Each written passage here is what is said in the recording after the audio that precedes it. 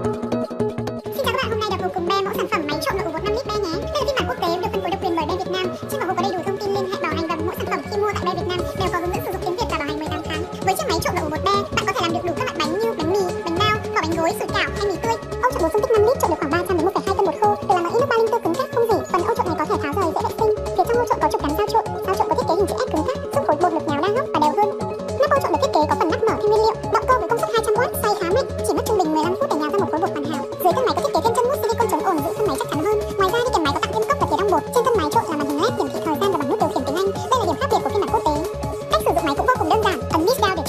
một, chọn cộng hoặc trừ để ra giảm thời gian trộn của mong muốn.